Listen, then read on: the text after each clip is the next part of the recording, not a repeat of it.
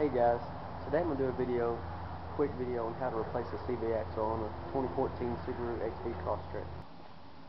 First things first, want to make sure your vehicle is jacked up and on the jack stand, and also have the rear tire chocked, and also the parking brake on. The first step is going to be to simply remove the wheel.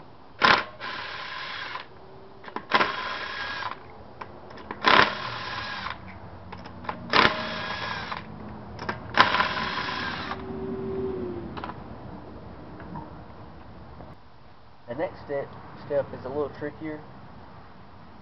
You need to take a chisel or a screwdriver and where that axle nut is cramped down, you need to flatten that out so you can loosen the axle nut.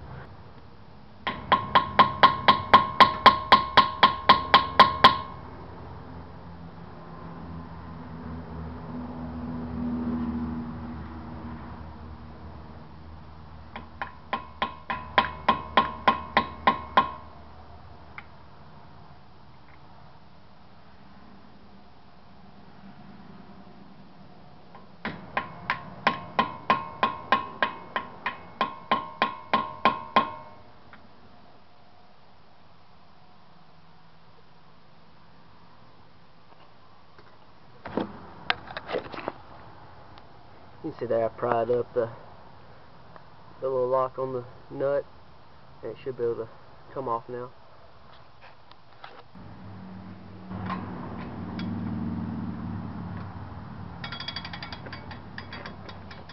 I'm using a one and one fourth inch socket. I believe it's also a 29 millimeter and the car is in park. It takes a little bit of force to get it broke loose not too bad. Now's a good time to actually place the car in neutral. Now I've got the car in neutral. It's a good time to loosen up the ABS wire and also loosen the brake line and remove it so you have a lot of room to play. You don't want to put too much stress on your brake line or this ABS sensor cable. A 12 millimeter socket ratchet will remove both of these. Now you're going to loosen up the two strut bolts. It's a good idea to mark the top one so that you keep a proper alignment. There's a there's a line at the top and there's different notches on the bolt itself that you could use to remember but it's always a good idea to just go ahead and mark it also so you have it exactly in the right spot. The bottom one, it's not necessary to do that. Then just remove those two bolts.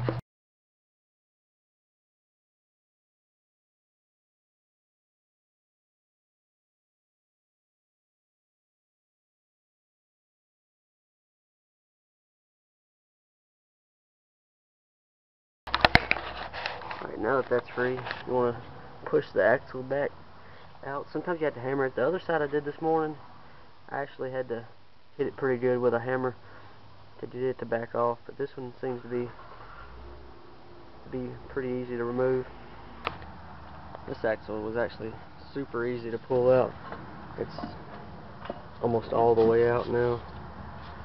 I'm going to pull it down towards the back of the car to get it out of the hole.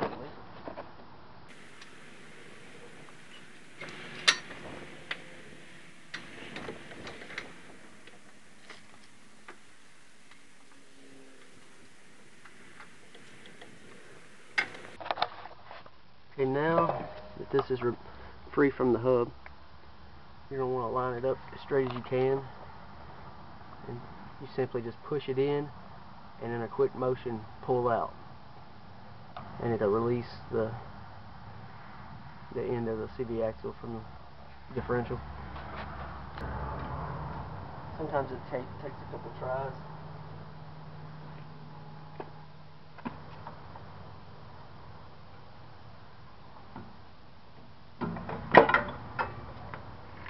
that, it's out. Before you get too far with the new axles, it's always a good idea to check and make sure the axles are similar. and these appear to be the same.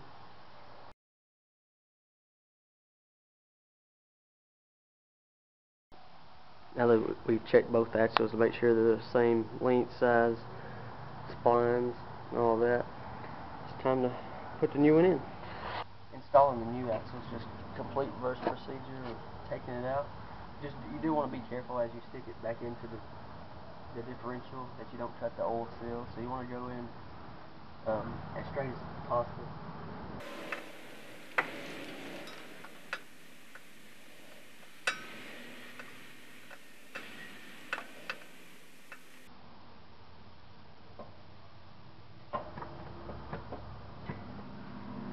Give it a few shoves to get to seat in there. Might take a couple tries.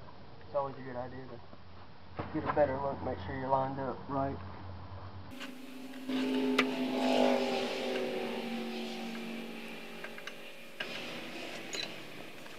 I've got it lined up and I can feel that the splines have uh, locked in in the differential.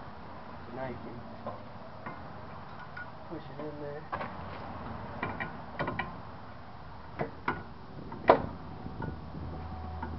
Alright, I think it's connected in there. It's got a little clip that retains it inside.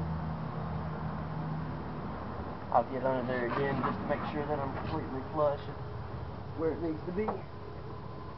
Alright, now that that's seated flush in the differential, time to put the this spline back into the, the hub. It takes a little maneuvering, but it can be done.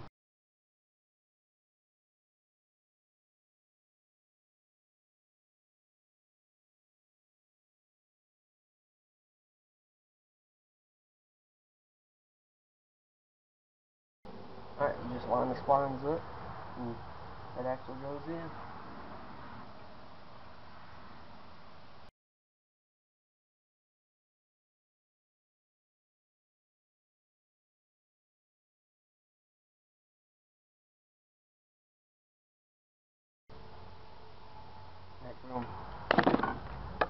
Just button everything back up, put the strut bolts back in, make sure the top one's exactly in the right spot that you marked.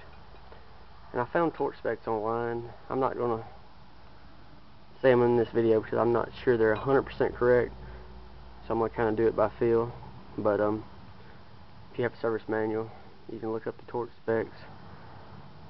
Same thing for this one.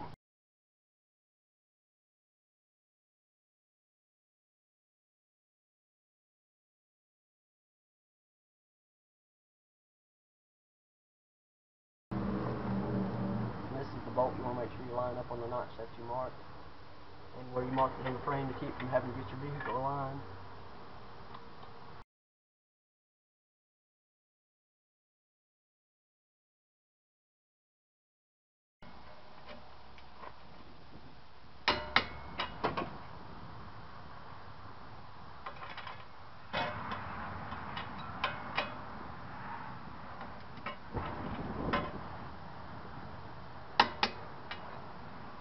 Now's a good time to put the vehicle in park again so you can properly torque down the axle nut. And after you have it properly torqued, you simply just crimp the, the end of the nut back into the bolt so that the the nut won't be able to back off. And then we'll button up the brake lines and the ABS lines, put the wheel back on and be good to go. And you can see here where I'd marked top of this bolt put it exactly back where I had it marked so it should not affect the alignment at all.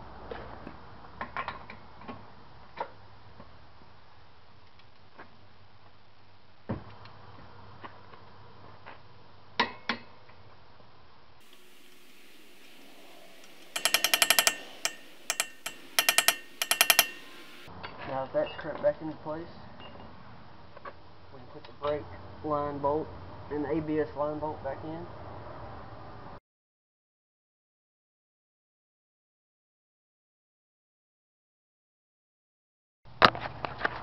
And there you have it, new CV axle is in. Thanks for tuning in. I know it's not the best quality video, but I wanted to show you how to do one of the new CV axles on the 2014 XV Crosstrek because there's not many videos showing the newer style. Um, this vehicle only has 80,000 miles on it, but I was one of the unfortunate ones to have my axles go bad, even without the torn boots. But um, thanks for tuning in. Now just throw the wheel back on, should be good to go.